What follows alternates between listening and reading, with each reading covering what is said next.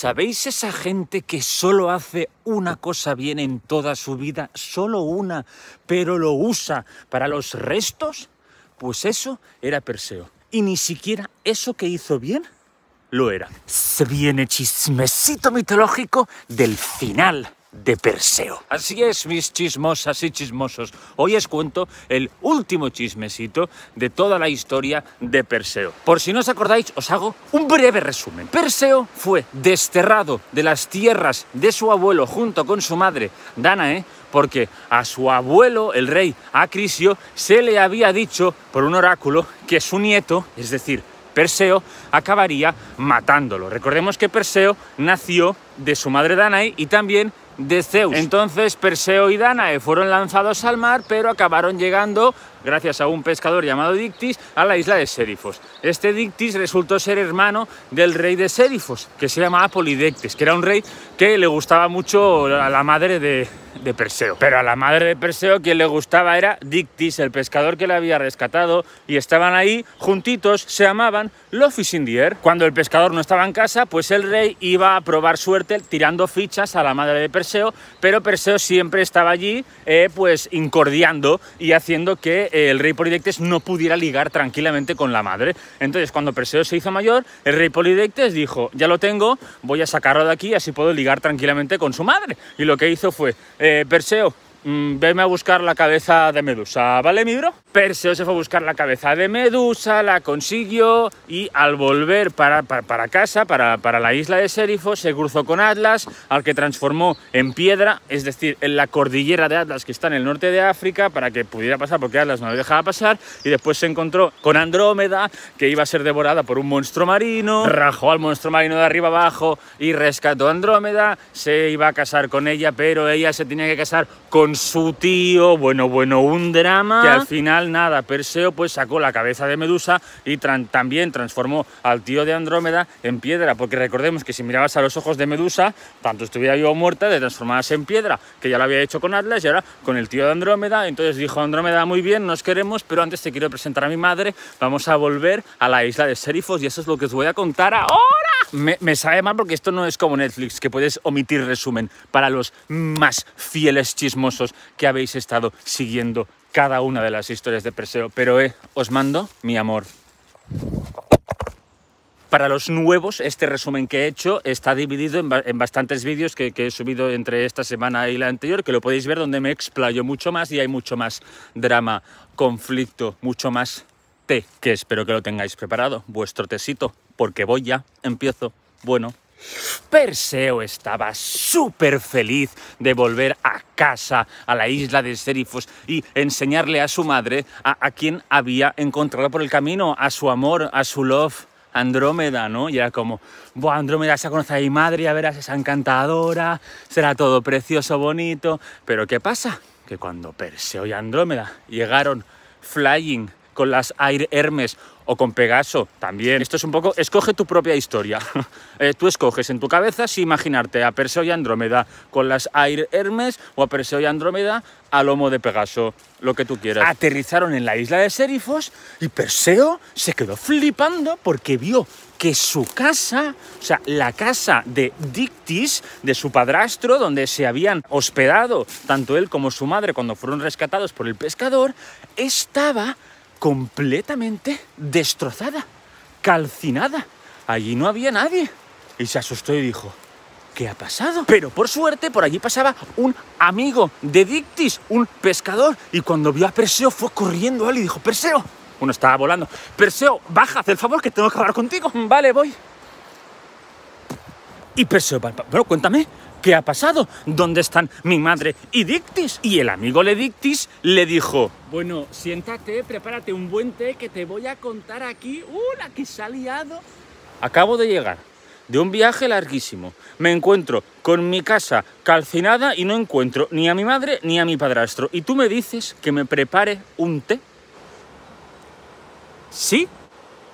Está bien, va, cuenta. Andrómeda estaba ya con palomitas, living con el chisme. Y el señor ese, pues, empezó a contar. Mira, Perseo, ¿tú te acuerdas que el verdadero motivo por el cual te fuiste a buscar la cabeza de Medusa en principio era porque el rey Polidectes se iba a casar con una princesa de por ahí. ¿Tú te acuerdas de eso? Sí, sí, claro que me acuerdo, claro. Pues todo mentira, todo mentira. ¿Qué? ¿No qué?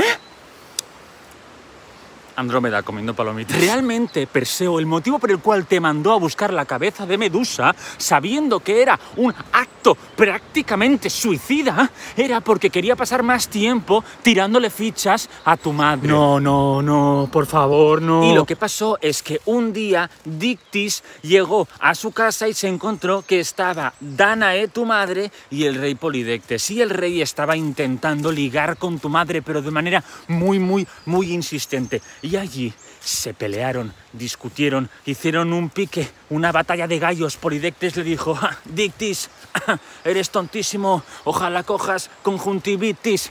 Lo sé, lamentable, así rimaba Polidectes. En fin. ¿Y qué pasó?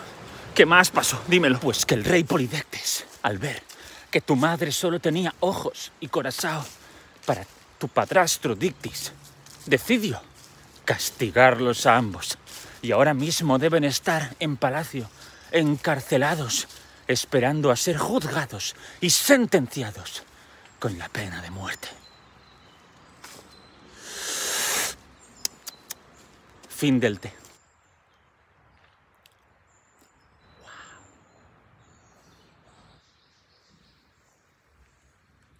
Ha llegado la hora de mi venganza. Gracias por el té. Y Perseo se fue corriendo hacia el palacio de Polidectes junto con Andrómeda y junto también con el saco, con la cabeza de Medusa. Dentro. Obviamente llegó volando y entró por la puñetera ventana del comedor, donde estaba Polidectes a puntito de cenar. Y por sorpresa de Perseo, se encontró que allí, en el suelo, arrastrados estaban su madre Danae y su padrastro Dictis. Polidectes, al verlo, dijo: Vaya, vaya, vaya. Bonitas zapatillas. Madre, Dictis, ¿estáis bien? Huye, hijo. Escápate. Tú que puedes. Dijeron ambos. A lo que Perseo respondió. De aquí no se va a ir nadie. Madre, Dictis, por favor, mirad a Polidectes y no dejéis de hacerlo hasta que yo os lo diga. Confiad en mí. Claro, su madre y Dictis vieron a Perseo tan tan confiado que no dudaron en hacerle caso y giraron la mirada hacia Polidectes, dándole la espalda a Perseo. Polidectes estaba en plan, ¿pero qué? ¿Pero qué haces, Perseo? ¿Qué quieres que me miren? ¿Por qué? ¿Porque soy hermoso? ¿Sí, no? ¿No? ¿Qué estás tramando? Andrómeda seguía con las palomitas. Había pedido el menú gigante. Claro, Polidectes, ¿tú te acuerdas por qué me fui de aquí? ¿Qué fue lo que me pediste? La cabeza de Medusa, ya. Pero como era imposible, me sorprende que hayas vuelto vivo. Supongo que porque no lo habrás ni intentado. ah, ¿no? ¿Qué me dirías si te dijera que en este saco de aquí está la cabeza de Medusa? pues te diría que me dejaras verla, porque obviamente no te creería. ¿De acuerdo? Y Perseo, muy lentamente, abrió el saco y primero agarró los pelos, las serpientes, de la cabeza de Medusa y las sacó un poco para que Polidectes, antes de morir, viera que realmente Perseo lo había conseguido. Y Polidectes, cuando vio las serpientes, dijo, no, no puede ser, no y se quedó de piedra porque Perseo ya había sacado la cabeza entera.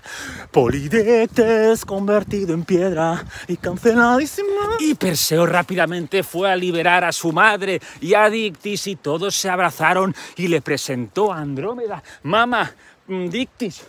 Esta es Andrómeda, me voy a casar con ella. ¿A qué es hermosa? Mira, rescaté de un monstruo marino. Sí, bueno, es que tengo que contar una de cosas. Y bueno, pues toda la familia se puso al día, Perseo y Andrómeda se casaron, eh, hicieron planes de negocio también, era mentalidad de tiburón, ¿eh? O sea, eh, la estatua de, de Polidectes, o sea, convertido en piedra, que se había quedado así, lo convirtieron en una atracción turística. O sea, la gente pagaba dinero para ir a ver a Polidectes convertido en piedra. O sea, money money para los bolsillos de Perseo. Y bueno, pasó el tiempo y llegó un día en el que Perseo quería volver a sus orígenes, a Argos, donde había nacido, donde estaba su abuelo el rey Acrisio, que lo había desterrado a él y a su madre por miedo a que él lo acabara matando, como había dicho el oráculo. Claro, porque Perseo decía, hostia, es que yo no quiero matar a mi abuelo, solo quiero verlo y, y- y estar con él, intentar crear una relación y hacerle ver que es que no soy ningún peligro para él, no le voy a hacer nada. Y entonces Perseo pues le contó esto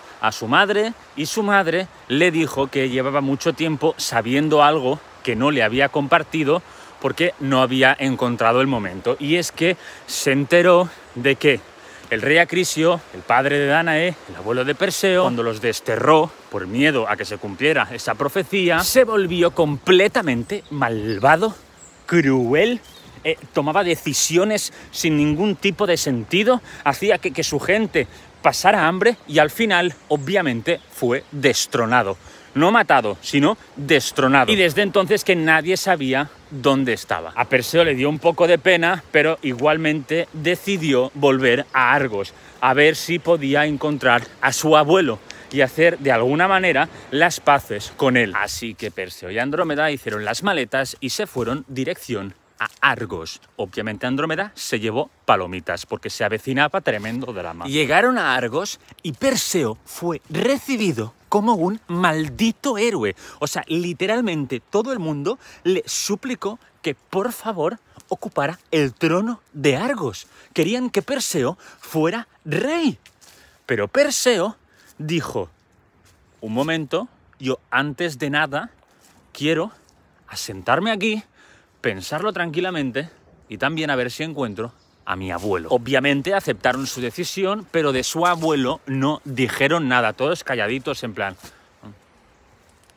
Nadie le dijo dónde podía estar, nadie le dijo si la había visto, si no la había visto, nadie decía nada. Y Perseo buscó, buscó y no lo encontraba, pero tampoco se quería rendir y necesitaban también dinero para poder pues quedarse allí más tiempo, porque Perseo quería conocer a su abuelo. Así que para poder subsistir, lo que decidió hacer Perseo fue competir. Competía en los torneos de mm, caballo, de tiro con arco, de lanzamiento de disco y como era un grandísimo crack polifacético de los deportes, pues ganaba siempre. Y él, pues claro, mm, acabó volviéndose un poquito adicto, ¿no? A las alabanzas, porque claro, cuando hacía pues un buen lanzamiento, la gente se volvía completamente loca.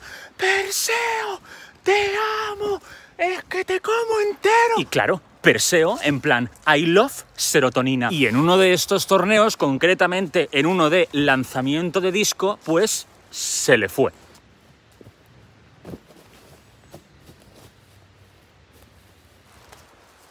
Le había dado en toda la cabezota a alguien. No sabía quién, porque literalmente había cruzado todo, todo el estadio, pero había acabado en la cabeza de alguien del público. Y claro, fue corriendo, corriendo, corriendo hacia las gradas, subió lo más rápido que pudo, porque claro, quería ver si esa persona estaba bien o no, se sentía fatal. Y bueno, llegó allí, por favor, déjame pasar, déjame pasar, está bien, está bien. Y va y ve a un señor mayor con la cabeza llena de sangre. Y él estaba en plan, joder, no me jodas, un, encima un señor mayor, qué mal me siento. Perseo se agachó al señor y le preguntó, señor, lo siento mucho, ¿está bien? ¿Puede, puede verme? Y el señor le dijo, no te preocupes, chico, al menos no me ha matado mi nieto. He conseguido vencer al oráculo. Piel de gallina. Perseo se quedó en shock y dijo, no, no puede ser que él sea. Y de pronto escuchó a alguien que venía corriendo. Apártense, apártense, que no ven que es su majestad el rey Acrisio. Apártense. Perseo no solo había matado a su abuelo, tal y como predijo el oráculo, sino que encima su abuelo no lo reconoció. Perseo le preguntó al señor este que, que venía corriendo, le preguntó, pero ¿por qué no me ha reconocido? Soy Perseo, su nieto. Y el señor le dijo, chico, hace tiempo que tu abuelo perdió la cabeza, pero tú no tenías que haber vuelto. Perseo se fue llorando del estadio, se abrazó a Andrómeda que por fin dejó de comer palomitas. Y claro, no olvidemos que matar a alguien de tu propia sangre era un crimen de sangre. era un crimen castigado por los dioses. Pero él, al ser un héroe, pues su único castigo fue devolver todos los objetos que le habían sido otorgados por los dioses Hermes y Atenea. Así que primero fueron a un templo de Hermes y allí dejaron la capucha de invisibilidad o el casco de invisibilidad de Hades que le habían dado para poder engañar a las grallas y también las sneakers Air Hermes aladas, las zapatillas que Hermes le había dado para que pudiera volar. Lo dejaron allí y en cuanto se dieron la vuelta ya desaparecieron. Y después fueron a un templo de Atenea. Y allí fue donde dejó la hoz, el escudo y también la cabeza de Medusa. Pero allí les estaba esperando la diosa Atenea. Atenea felicitó a Perseo por el trabajo bien hecho y agarró la cabeza de Medusa y la introdujo en su escudo. Y desde entonces el escudo de Atenea lleva el rostro de Medusa en señal de aviso, de advertencia, de cuidadito conmigo, que mira lo que le pasó a la que me vaciló. Y y Perseo y Andrómeda, eso ya os lo conté ayer, pero lo vuelvo a contar, tuvieron siete, o sea, seis hijos y una hija, eh, los cuales todos, incluidos eh, Perseo y Andrómeda, fueron eh, alzados al cielo y se convirtieron en las Perseidas, aunque Andrómeda se convirtió también en una constelación que estaba junto a su madre, Casiopea. Y aquí acaba la historia de Perseo, un hombre al que catalogaron de héroe al haber matado a Medusa, una mujer injustamente castigada por Atenea por culpa de Poseidón. Pero por favor, por favor, dejadme acabar con una frase maravillosa de la película de Netflix del monstruo marino, que es una película de animación, que hay una frase en la que dicen, puedes ser un héroe y estar equivocado, que es una frase perfecta para toda la historia de Perseo. Porque ser un héroe solo significa que has realizado un acto extraordinario que requiere mucho valor, pero eso no significa que hayas hecho algo bueno. Así que no hay que tener miedo a aceptar que igual en algunas cosas hemos estado toda la vida equivocados. Cuídense y que tengan un buen día.